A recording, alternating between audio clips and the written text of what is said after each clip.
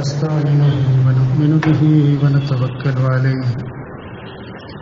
ونعوذ بالله من شرور أنفسنا ومن سيئات أعمالنا. من يهد الله فلا مضل له ومن يضلل فلا هادي له. أشهد أن لا إله إلا الله وحده لا شريك له. وأشهد أن محمدا عبده ورسوله. أرسله بالهدى ودين الحق ليظهره على الدين كله. ولو كره المشركون. اللهم صل على محمد وعلى آل محمد. كما صليت على إبراهيم وعلى آل إبراهيم. وبارك على محمد وعلى آل محمد.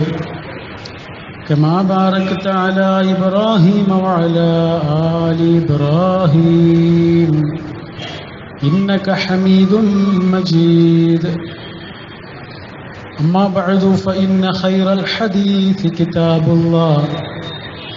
وخير الهدي هدي محمد صلى الله عليه وسلم وشر الأمور محدثاتها وكل محدثة بدعة وكل بدعة ضلالة وكل ضلالة في النار.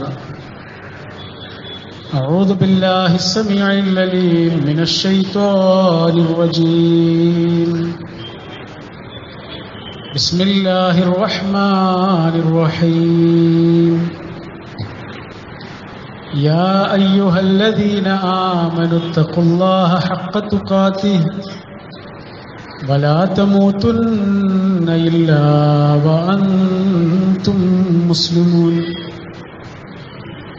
بسم الله الرحمن الرحيم.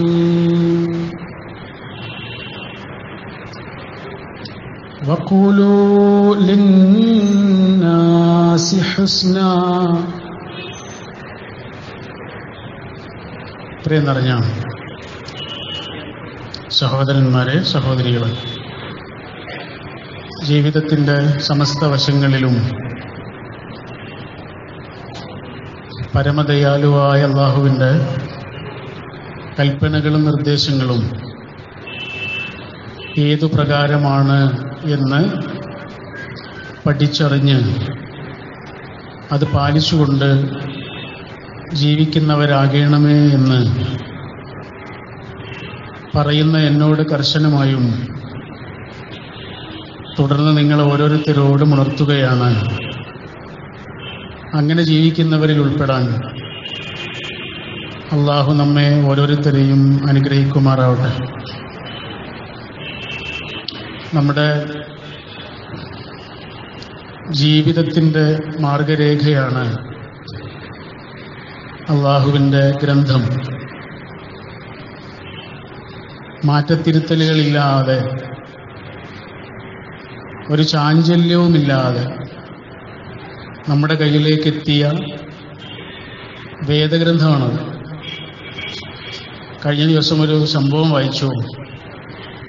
ഇസ്ലാമിക ലോകത്തെ മഹാനായ പണ്ഡിതൻ ഇമാം ഷാഫി റഹ്മുല്ല അദ്ദേഹം ഒരു പുസ്തകം എഴുതി. ആ പുസ്തകം ഇന്നും വലിയ ഒരു സോഴ്സാണ്. അറിവിന്റെ വലിയൊരു സ്രോതസ്സാണ്. അരിശാല എന്ന പുസ്തകമാണ് കിതാബുൽ റിസാല. ഈ ഉസൂൽ ഫിഖ്. കർമ്മശാസ്ത്രവുമായി ബന്ധപ്പെട്ട അതിന്റെ നിദാന ശാസ്ത്രവുമായി ബന്ധപ്പെട്ട ഏറ്റവും പ്രധാനപ്പെട്ട ഗ്രന്ഥമാണ്. അങ്ങനെ അദ്ദേഹം ആ പുസ്തകം എഴുതി. അത് ജനങ്ങളിലേക്ക് എത്തിക്കുന്നതിന് മുമ്പ് നമ്മുടെ ഭാഷയിൽ പറഞ്ഞാൽ പ്രസിദ്ധീകരിക്കുന്നതിന് മുമ്പ് അത് വായിച്ചു കേൾക്കുകയാണ് ആ മഹാപണ്ഡിതൻ. വായിച്ചു കൊടുക്കുന്നത് അദ്ദേഹത്തിന്റെ പ്രിയങ്കരനായ ശിഷ്യനാണ് മഹാപണ്ഡിതൻ ഇമാം മുസ്ലിയാണ് റഹ്മുള്ള എത്ര പ്രാവശ്യമാണ് വായിച്ചു കൊടുക്കുന്നത് എന്നറിയോ? തൊണ്ണൂറ്റി ഒൻപത് പ്രാവശ്യവും വായിച്ചു. ഈ തൊണ്ണൂറ്റി ഒൻപത് പ്രാവശ്യവും അതിൽ പലതരത്തിലുള്ള തിരുത്തലുകൾ നടത്തി ഗ്രന്ഥകർത്താവായ ഇമാം ഷാഫി റമോൾ നൂറാമത്തെ പ്രാവശ്യം വായിച്ചു. അപ്പോഴും ചില തിരുത്തലുകൾ നടത്തി. എന്നിട്ട് ഗുരുനാഥൻ വിദ്യാർത്ഥിയോട് പറഞ്ഞു കൊടുക്കുന്നുണ്ട് ഇതാണ് മനുഷ്യന്റെ എഴുത്തുകളുടെ പ്രത്യേകത.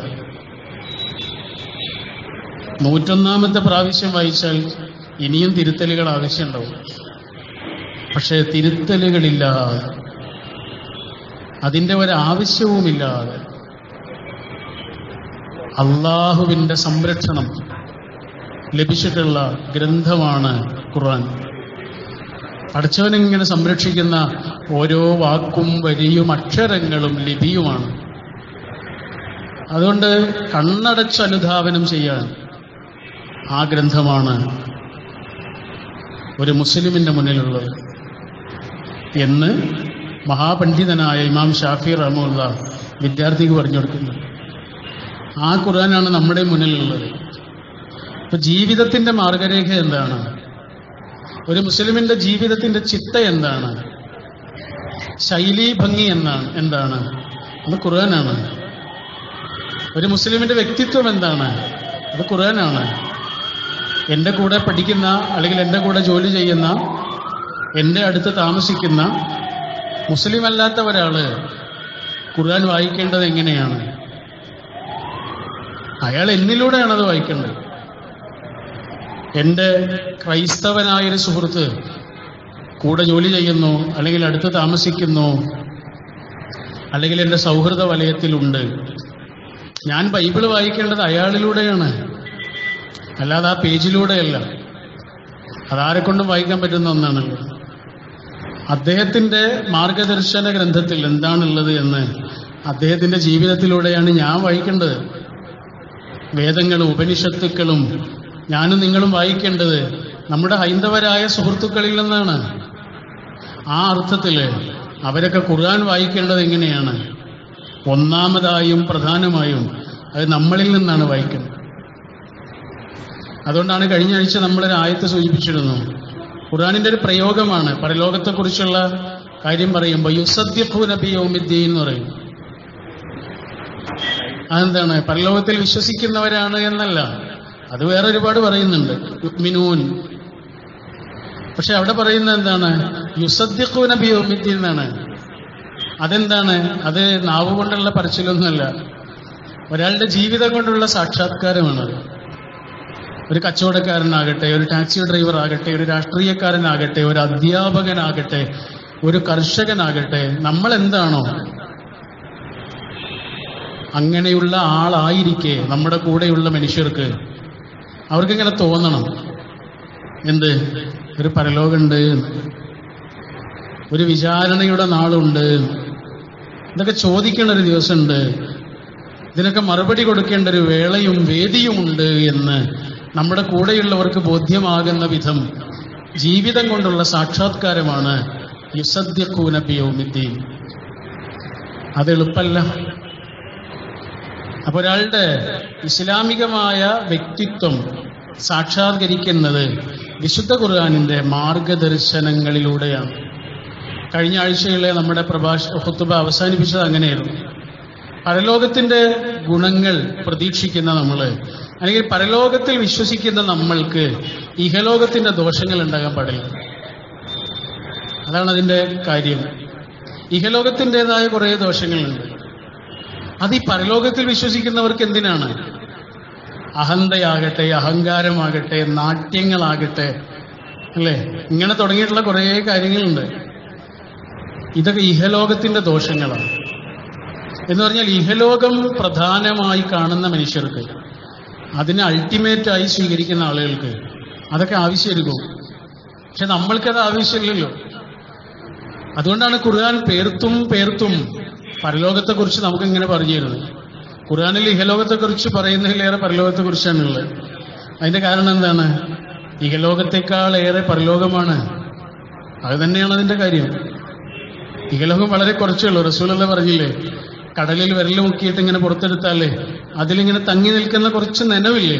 അത്രയേ ഉള്ളൂ. ബാക്കിയൊക്കെ പരന്ന് പാരാവാരമായി കിടക്കുന്നത് പരലോകമാണ് എന്ന് ഹബീബായ റസൂസ് സല്ലല്ലാഹു അലൈഹി വസല്ലം പറയുന്നുണ്ട്. അപ്പൊ അകം ശുദ്ധമാവുന്നത് ഒരാളുടെ പരലോക ബോധ്യം കൊണ്ടാണ്. ഒരാളുടെ ഉള്ളിന്റെ നന്മയാണ് അയാളുടെ വാക്കിലും പ്രവർത്തനങ്ങളിലും സഹവാസത്തിലും ഒക്കെ ഒക്കെ പ്രകടമാകുന്നത്. ഉള്ളിലെ ഈമാനിന്റെ ശുദ്ധി ഉള്ളിലെ സത്യവിശ്വാസത്തിന്റെ ആഴവും ഭംഗിയും. അതാണ് ഒരാളുടെ വാക്കിൽ ഇങ്ങനെ പ്രകടാവുക. ഒരാളുടെ സംസാരം കേട്ടാൽ അറിയാം ഒരാളെ പ്രസംഗം കേട്ടാൽ അറിയാം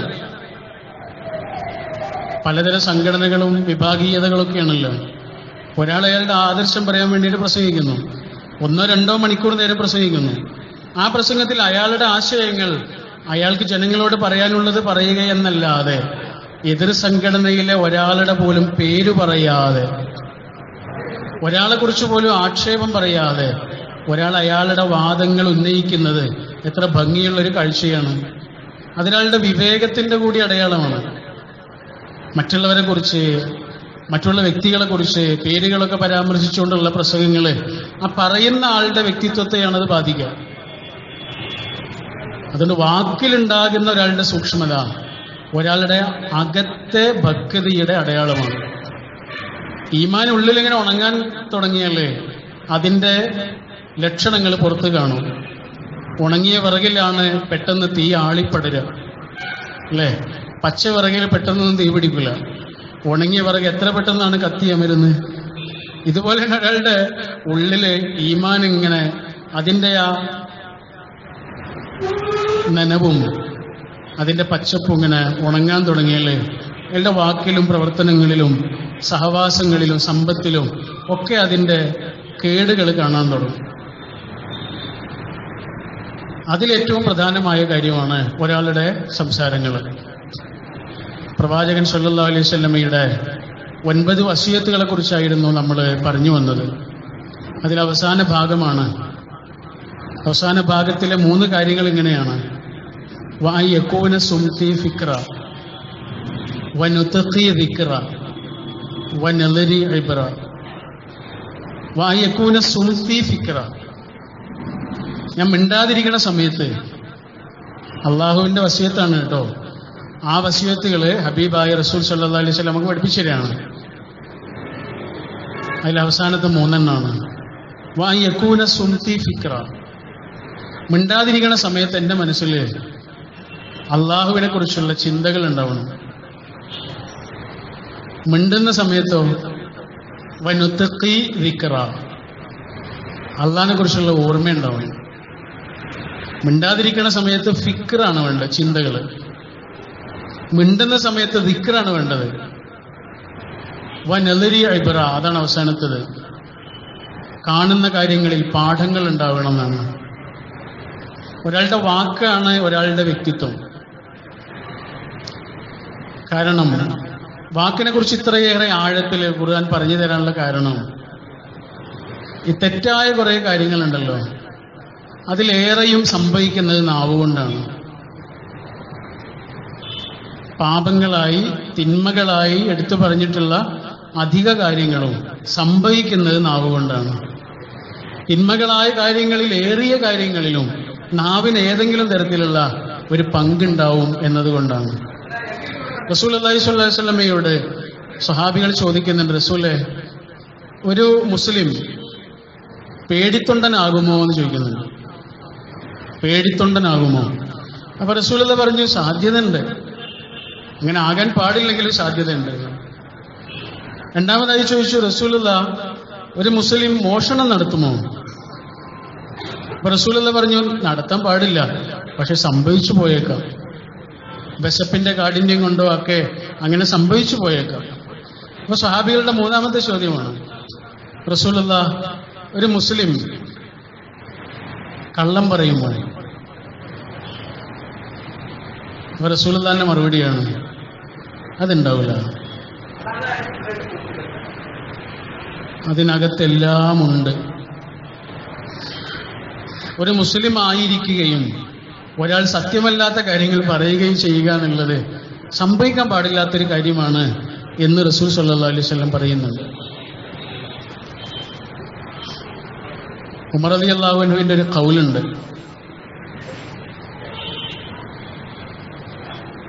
എന്താണെന്നറിയോ? ഞാൻ പല സ്ഥലങ്ങളിലും സംസാരിച്ചിട്ടുണ്ട്.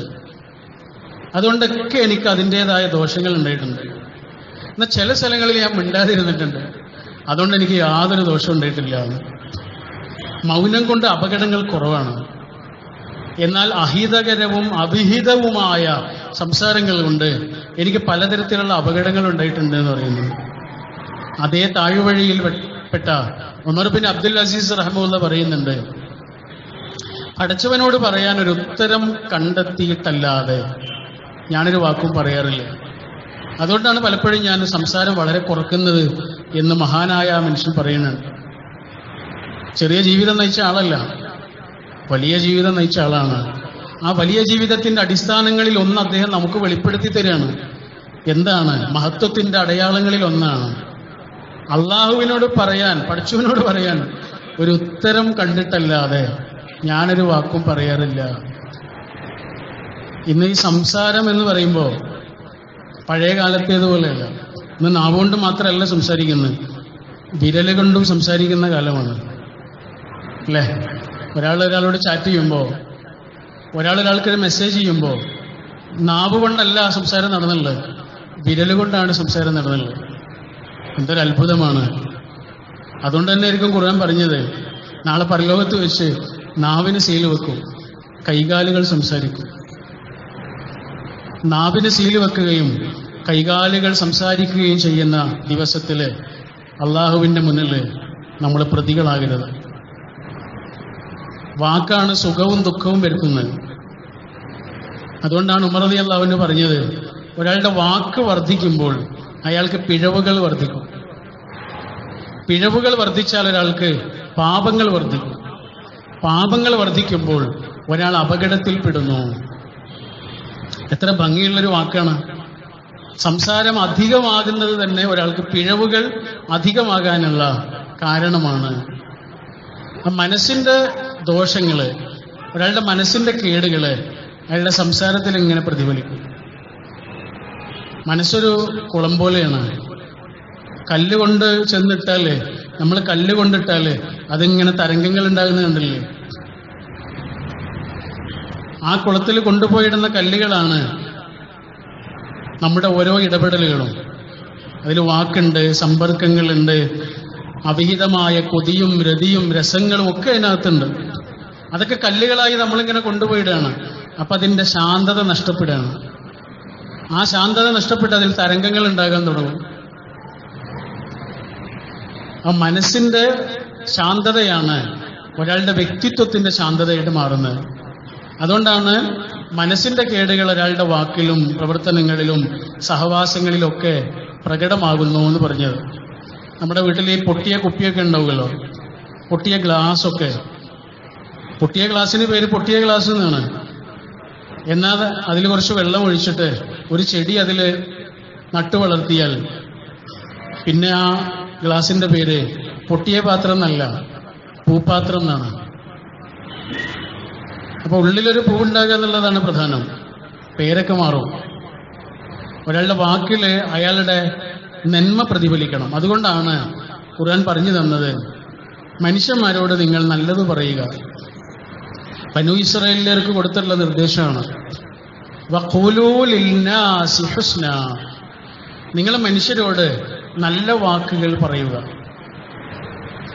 മുസാ ഖൗലൻ ലയ്യിന ലഅല്ലഹു ഔ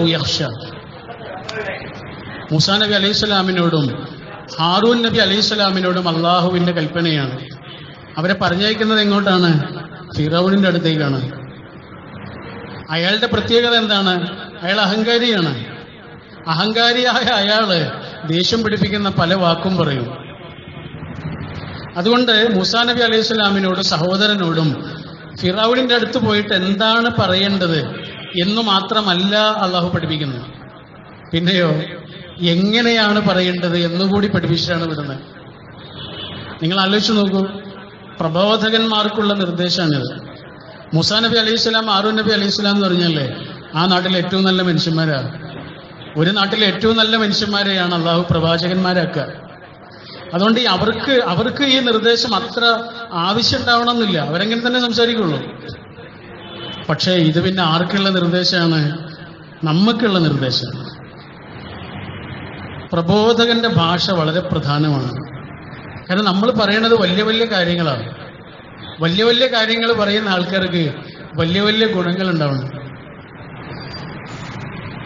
വാക്കിലും പ്രയോഗങ്ങളിലും നന്മ ഉണ്ടാവണം. പക്ഷെ ആ നന്മ ഇന്ന് വളരെ വളരെ വളരെ കുറഞ്ഞു കുറഞ്ഞു ഇങ്ങനെ വരികയാണ്. ഖുർആാനും അദീസൊക്കെ പറയുന്ന അതേ നാവ് കൊണ്ട് തന്നെ മറ്റുള്ളവരെ കുറിച്ച് പറയുന്നതിന് യാതൊരു മടിയില്ലല്ലോ ഒരാളോട് ഫോണിൽ സംസാരിച്ച് അയാളുടെ അനുമതിയില്ലാതെ അത് റെക്കോർഡ് ചെയ്ത് ആയിരക്കണക്കിന് മനുഷ്യര് കേൾക്കുന്ന വിധം അത് സോഷ്യൽ മീഡിയയിലൂടെ പ്രചരിപ്പിക്കുന്ന എത്ര കാഴ്ചകളാണ് മതത്തിന്റെ പേരിൽ നമ്മൾ കാണുന്നത്? ദീനിന്റെ പേരിലാണ്. ആളുകളെ കുറിച്ച് ആക്ഷേപിക്കുന്നതിനോ പേരുകൾ പ്രയോഗിക്കുന്നതിനോ നീ യാതൊരു മടിയില്ല. റസൂ സല്ലാ അലൈഹി വസല്ലമയുടെ രീതി എന്തായിരുന്നു എന്നറിയോ? ഒരാളെ കുറിച്ച് നല്ലത് പറയുമ്പോഴേ പേര് പറയുള്ളൂ. ഒരാളെ കുറിച്ച് മോശമായ കാര്യം പറയുകയാണെങ്കിൽ ഇവിടെ ചില ആളുകളെന്നേ പറയുള്ളൂ. ആളുടെ പേര് പറയുള്ളു ഒരിക്കൽ എന്തെയും സുദ്ദീഖ് അബൂബക്കർ അലി അള്ളാഹുവിൻഹുവും ഉമർ അലി അള്ളാഹുവിൻഹുവും ഒരു യാത്രയിലാണ്. അപ്പൊ അവർക്ക് ഭക്ഷണമൊക്കെ ഉണ്ടാക്കുന്നതിന് വേണ്ടിയിട്ട് സഹായിയായ ഒരാൾ അവരുടെ കൂടെയുണ്ട്. നാലാളുകളാണ് യാത്ര. അങ്ങനെ ഒരു സ്ഥലത്ത് താമസിച്ച പിറ്റേ ദിവസം ഉണർന്ന സമയത്ത് റസൂലുള്ള കൂടെയുള്ള രണ്ടാളുകളിൽ ഒരാളോട് ചോദിച്ചു. അതും പ്രധാനമാണ് കേട്ടോ. ആരോടാണ് റസൂൽ ചോദിച്ചതെന്നോ ആരാണ് ആ മറുപടി പറഞ്ഞത് എന്നോ ആ ചരിത്രത്തിലില്ല. ഒന്നുകിൽ അബൂബക്കർ അലി അള്ളാവണ്ണു അല്ലെങ്കിൽ ഉമർ അലി അള്ളാവണ്ണു അതാരാണ് എന്നത് പ്രധാനമല്ല. റസൂൽ ചോദിച്ചത് എന്താണ്? മറ്റേയാൾ എവിടെയെന്നാണ് ചോദിച്ചത്? കൂടെ അവരുടെ സഹായിയായി വന്ന ആൾ എവിടെയാണ്? അപ്പൊ ഈ രണ്ടിലൊരാൾ പറഞ്ഞ മറുപടി എന്താണെന്നറിയോ? അയാൾ വലിയ ഉറക്കക്കാരനാണ് അത്രേ പറഞ്ഞു. പറഞ്ഞുള്ളൂ. അങ്ങനെ കുറെ സമയം കഴിഞ്ഞ് അവർ രാവിലെയുള്ള ഭക്ഷണം കഴിക്കാനിരുന്നതാണ്. അപ്പൊ കറിയും ചപ്പാത്തിയും ഒക്കെ ഉണ്ട്. അപ്പോ ഈ രണ്ടിൽ ഒരാളുണ്ടല്ലോ ഈ പറഞ്ഞ ആൾ. അയാൾ വലിയ ഉറക്കക്കാരനാണ് എന്ന് പറഞ്ഞ ആൾ. ആ ആൾ റസൂലതയോട് പറഞ്ഞു റസൂലെ ആ കറി ഒന്നുകൊണ്ട് നീക്കി തരുമെന്ന് ചോദിച്ചു. അപ്പൊ റസൂലത പറയാണ് കറിയൊക്കെ നേരത്തെ കഴിച്ചില്ലേ? ഇല്ല. കഴിച്ചു. ഞാൻ കണ്ടു. നിന്റെ സഹോദരനെ കുറിച്ചല്ലേ അത് പറഞ്ഞത്? നിന്റെയല്ല നിങ്ങളുടെ. റസൂൽ അങ്ങനെയാണ് പറയുക. നിങ്ങളുടെ സഹോദരനെ കുറിച്ചല്ലേ അങ്ങനെ പറഞ്ഞത്? നിങ്ങളുടെ സഹോദരന്റെ പച്ചമാംസം കഴിഞ്ഞതി കഴിച്ചതിന്റെ അവശിഷ്ടം ഞാൻ നിങ്ങളുടെ വായിൽ കാണുന്നുണ്ട് എന്ന് റസൂൽ ചെറിയ വാക്കല്ലത് ഉറക്കക്കാരനാന്നേ പറഞ്ഞുള്ളൂ. ആലോചിച്ച് നോക്കൂ നിങ്ങൾ. മനുഷ്യരെ കുറിച്ച് പറയുമ്പോൾ സൂക്ഷിക്കേണ്ടതാണ്. മനുഷ്യരെ കുറിച്ച് പറയുമ്പോഴേ ആ പ്രയോഗത്തിൽ സൂക്ഷിക്കേണ്ട കാര്യമാണ്. അതുകൊണ്ടാണ് നെഗറ്റീവായൊരു കാര്യം പറഞ്ഞത്. അതുകൊണ്ട് ആര് പറഞ്ഞു എന്ന് പോലും ആ ചരിത്രത്തിലില്ല. അതാണ് പറഞ്ഞത്. ഒരാളെ കുറിച്ച് നെഗറ്റീവ് പറയുമ്പോൾ അയാളുടെ പേര് പറയില്ല. റസൂലതയുടെ രീതി അതാണ്. ഈ രണ്ട് സ്വഹാബികൾ ഒരാളാണ് പറഞ്ഞത്. പക്ഷെ അത് ആരാണെന്ന് ചരിത്രത്തിലില്ല. അതെന്തുകൊണ്ടാ? അത് നെഗറ്റീവായൊരു കാര്യമാണ്. നല്ല കാര്യമല്ല. അതുകൊണ്ട് മിനിമം നമ്മൾ ചെയ്യേണ്ടത് ഇത്രയേ ഉള്ളൂ. ഒരാളെ കുറിച്ച് പറയുമ്പോൾ ദോഷമാണോ പറയണേ? ദോഷം പറയാൻ പാടില്ല. ഖുർആനിന്റെ നിർദ്ദേശമാണ്. ഒരാൾ ഇല്ലാത്ത സമയത്ത് അയാളെ കുറിച്ച് പറയാൻ പാടില്ല. നല്ലത് പറയാം. ഒരാളുടെ സാന്നിധ്യത്തിലും നല്ലത് ഒരു പരിധി വരെയൊക്കെ പറയാം. പരിധി വിടാൻ പാടില്ല. ഒരു പരിധി വരെയൊക്കെ നല്ലത് പറയാം. ദോഷം പറയേണ്ട ഏതെങ്കിലും ഒരു സമയമുണ്ടെങ്കിൽ ഏതെങ്കിലും ഒരു ഗുണത്തിന് വേണ്ടിയാണെങ്കിൽ ദോഷം പറയുകയാണെങ്കിൽ പോലും പേര് പരാമർശിക്കാത്ത വിധത്തിൽ അത് പറയുന്ന രീതിയായിരുന്നു ഹബീബായി റസൂൽ സല്ലാ അലൈഹി സ്വലമയുടെ രീതി. എത്ര മനോഹരമായ ഒരു ആദരവാണ് മനുഷ്യന് കൊടുക്കുന്നത് ആലോചിച്ചു. ആ ഒൻപത് വസീയത്തുകൾ എടുത്തു നോക്കിയാൽ കാണാം മനുഷ്യനോടുള്ള ആദരവാണ്. മാപ്പ് കൊടുക്കുന്നതിനെ കുറിച്ചാണ് ആ ഒൻപത് വസീയത്തുകളിൽ ഏറെയും പറയുന്നത്. കാരണം മനുഷ്യർ നമ്മളോട് എന്തെങ്കിലും ചെയ്തിട്ടുണ്ടാവും. നമ്മളോട് വന്ന് മാപ്പ് പറയാനെന്നുള്ള വലിയ മനസ്സൊന്നും ചിലപ്പോൾ ഉണ്ടാവില്ല. നമ്മളോട് ചെയ്ത ദ്രോഹം അവരെ സങ്കടപ്പെടുത്തുന്നൊക്കെ ഉണ്ടാവും. ഇരോഷിമയിൽ ബോംബിട്ട മനുഷ്യന് അദ്ദേഹത്തോട് കൽപ്പിച്ച പണിയാണ് ചെയ്തത്. ഒന്നര ലക്ഷം മനുഷ്യരാ മരിച്ചത്. ഒന്നര ലക്ഷം മനുഷ്യര് മരിച്ച ജോലിയാണ് ഞാൻ ചെയ്തത്. അവരെ അത്രയും കൊന്ന ഒരു പ്രവർത്തനമാണ് ഞാൻ ചെയ്തത് എന്ന് അയാൾ പിന്നെയാണ് മനസ്സിലാക്കിയത്. അയാളോട് ആകെ പറഞ്ഞത് ഒരു സ്വിച്ച് ഇടാനാണ്. അയാൾ സ്വിച്ചിട്ടു ബോംബ് താഴെ വീണു. ഒന്നര ലക്ഷം മനുഷ്യർ മരിച്ചുപോയി. പിന്നെ ആ മനുഷ്യന് ഉറക്കില്ലായിരുന്നു. പാതിരാത്രിയിൽ അലറി വിളിച്ച് കരഞ്ഞ് ഓടി നടക്കും. വലിയ ഒരു കുടം അദ്ദേഹത്തിന്റെ തലയിലേക്ക് അമർത്തി വെച്ച് സ്വയം മരിക്കാൻ വരെ അദ്ദേഹം ഒരുങ്ങി എന്നൊക്കെയാണ് ചരിത്രത്തിലുള്ളത്. നമ്മളോട് ദ്രോഹം ചെയ്ത ഓരോ മനുഷ്യന്റെ ഉള്ളിലും വിഷമങ്ങൾ ഉണ്ടാവും. ചിലപ്പോൾ നമ്മളോട് പറഞ്ഞ് മാപ്പ് ചോദിക്കാനെന്നുള്ള അത്ര വലിയ മനസ്സൊന്നും ഉണ്ടാവില്ലേ? അതുകൊണ്ട് നമുക്ക് ചെയ്യാവുന്ന ഒരേ ഒരു കാര്യത്തിനേ ഉള്ളൂ. അവരോട് അവർക്ക് അങ്ങോട്ട് മാപ്പ് കൊടുക്കുക. ചെയ്ത ദ്രോഹങ്ങൾക്ക് മാപ്പ് കൊടുക്കുക. സാരല്ല എന്ന് പറഞ്ഞിട്ട് അവരെ ഇങ്ങനെ ചേർത്ത് പിടിക്കുക. വേദനകൾ നമ്മുടെ ഉള്ളിൽ ബാക്കിയായി കിടക്കും. മനുഷ്യന് തന്ന സ്നേഹമൊക്കെ മെല്ലെ മെല്ലെ നമ്മൾ മറന്നുപോയിട്ടുണ്ടാവും അത് മനുഷ്യന്റെ ഒരു സ്വഭാവമാണ്. ചുംബനങ്ങളൊക്കെ മാഞ്ഞു പോകും മുറിവിടെ മുറിവിന്റെ പാടുകളൊക്കെ അവിടെ ഇവിടെയൊക്കെ ഇങ്ങനെ ബാക്കിയാവുമല്ലോ. ഇതുപോലെയാണ് സഹവാസങ്ങളിലുള്ളത്. മനുഷ്യർ തന്ന ദ്രോഹങ്ങൾ നമ്മുടെ ഉള്ളിൽ ഇങ്ങനെ കിടക്കും. കനലായി എരിയും. അതുകൊണ്ടാണ് ഇത്രയേറെ ആവർത്തിച്ച് നമ്മുടെ പ്രമാണങ്ങൾ നമുക്ക് പറഞ്ഞു തരുന്നത്. മനുഷ്യർക്ക് പുറത്തു കൊടുക്കേണ്ട പുറത്തു കൊടുക്കേണ്ടതിനെ കുറിച്ച്. ഇതാണ് ഈ ഒൻപത് വസീയത്തുകളുടെ സാരാംശം. മനുഷ്യന്റെ സ്വാഭാവികതകളെ അംഗീകരിക്കുവാൻ മനുഷ്യന്റെ സ്വഭാവ വ്യത്യാസങ്ങളെ അംഗീകരിക്കുവാൻ മനുഷ്യന്റെ പല നേരത്തെ പല ഭാവങ്ങളെ സ്വീകരിക്കുവാൻ തക്ക വിധത്തിൽ നമ്മുടെ മനസ്സ് വലുതാക്കുവാനാണ് ഈ വസീയത്തുകളിൽ പറഞ്ഞിരുന്നത്. ആ വിധം വ്യക്തിത്വത്തെ ക്രമീകരിക്കുവാൻ കുറച്ചുകൂടി വലിയൊരു മനസ്സ് ഉണ്ടാവാൻ അള്ളാഹുവിനോട് നമ്മൾ പ്രാർത്ഥിക്കണം. അതാണ് റസൂലതയോട് അല്ല പറഞ്ഞത്. അലം നഷറഹ് ലക്ക സുദ്രക് റസൂലത നിങ്ങളുടെ ഹൃദയം ഞാൻ നിങ്ങൾക്ക് വിശാലമാക്കി തന്നില്ലേ? ഇൻഷിറാഹ് സുദർ എന്ന് പറഞ്ഞാൽ എന്താണെന്നറിയോ? എല്ലാരെയും സ്വീകരിക്കലാണ്. ഓരോ മനുഷ്യനെയും അവരുടെ പോരായ്മകളോട് തന്നെ സ്നേഹിക്കാൻ കഴിയുന്ന ഒരു വളർച്ചയിലേക്ക് നമ്മൾ എത്തലാണ് അള്ളാഹു അങ്ങനെ ജീവിക്കുന്നവരിൽ ഉൾപ്പെടാൻ നമ്മെ ഓരോരുത്തരെയും അനുഗ്രഹിക്കുമാറാവട്ടെ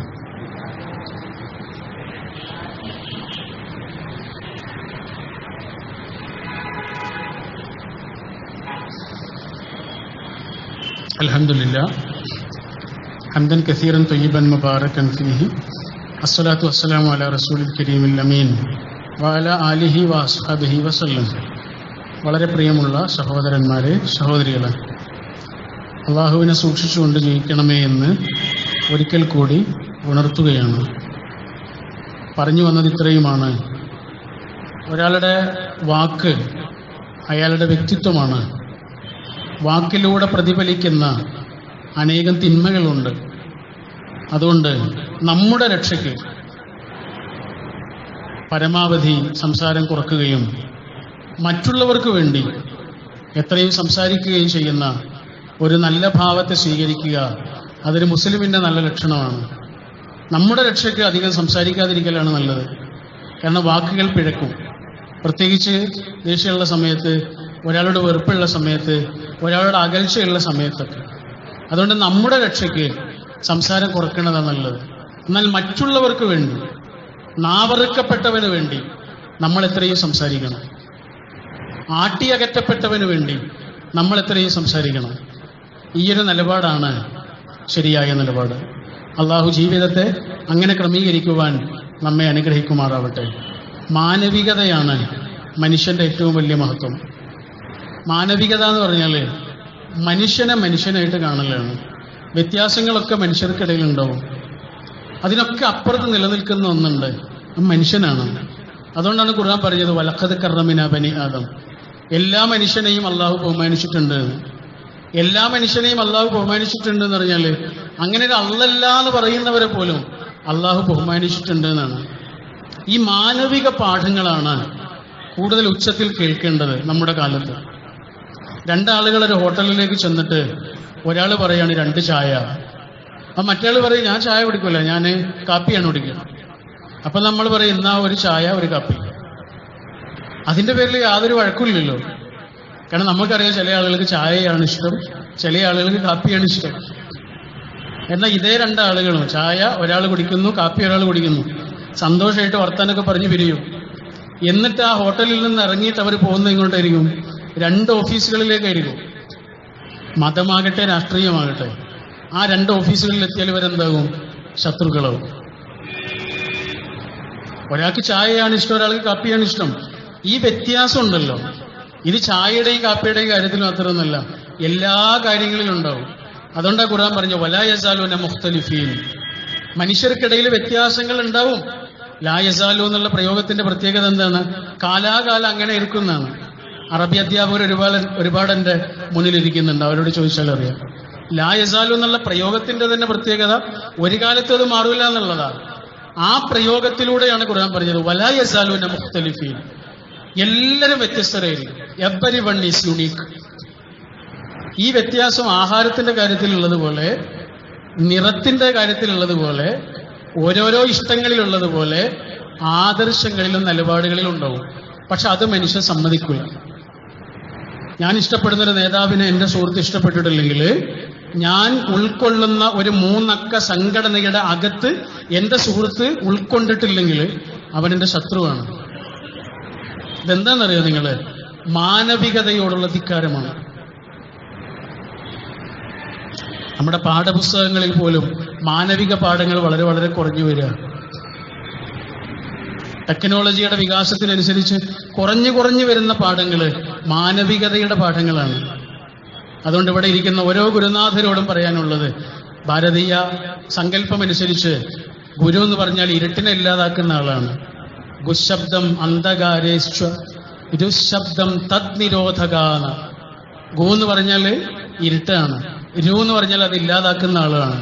അതുകൊണ്ട് നിങ്ങളുടെ കുട്ടികളുടെ മനസ്സിൽ നന്മയും സ്നേഹവും എല്ലാത്തിനും ഉപരിയായി മനുഷ്യനെ ഇങ്ങനെ ചേർത്ത് പിടിക്കുന്ന മാനവികതയുടെ സ്നേഹത്തിന്റെ പാഠങ്ങൾ ഓരോ കുഞ്ഞിന്റെ മനസ്സിലും ബാക്കിയാക്കാൻ നിങ്ങൾക്ക് സാധിക്കട്ടെ. കുറെ കാലം കഴിഞ്ഞ് ഗുരുനാഥനെ കുറിച്ച് ഓർക്കാൻ പറയുമ്പോൾ നല്ല ഗുരുനാഥന്റെ ഗുരുനാഥനെ കുറിച്ച് ഓർക്കാൻ പറയുമ്പോൾ കുട്ടികളുടെ മനസ്സിൽ നൂറോ ഇരുന്നൂറോ ആൾക്കാരൊന്നും ഉണ്ടാവില്ല. ഒന്നോ രണ്ടോ ആൾക്കാരേ ഉണ്ടാവുള്ളൂ. അതിലൊരാൾ നിങ്ങളാകട്ടെ എന്ന് പ്രാർത്ഥിക്കുന്നു. അള്ളാഹു നമ്മുടെ ജീവിതത്തിൽ നന്മകൾ ചൊരിഞ്ഞ് അനുഗ്രഹിക്കുമാറാവട്ടെ പാപങ്ങൾ പുറത്തു തരുമാറാവട്ടെ. അറിഞ്ഞുകൊണ്ടും അറിയാതെയും ഒരുപാട് തിന്മകൾ സംഭവിച്ചിട്ടുണ്ട്. അറിഞ്ഞുകൊണ്ട് തന്നെ ചെയ്തിട്ടുണ്ട് പാപങ്ങൾ അറിയാതെയും സംഭവിച്ചിട്ടുണ്ട്. പരമദയാലുവായ രക്ഷിതാവേ ഞങ്ങൾക്ക് നീ പാപമോചനം നൽകി അനുഗ്രഹിക്കണമേ.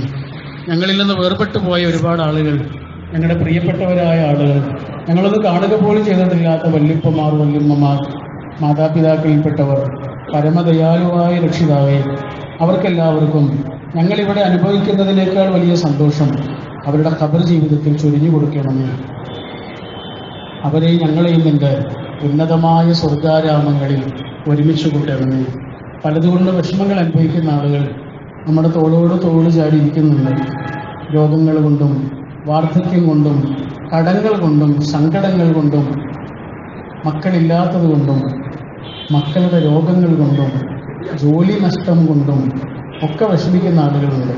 അള്ളാഹു അവർക്കെല്ലാം ആശ്വാസം നിറഞ്ഞ പരിഹാരം പ്രദാനം ചെയ്യണമേ. നന്മയിൽ നമ്മളോട് സഹകരിക്കുന്ന ഒരുപാട് മനുഷ്യർ അള്ളാഹുവെ അവർക്ക് കൈറും വർക്കത്തും ചൊരിഞ്ഞ് അനുഗ്രഹിക്കണമേ.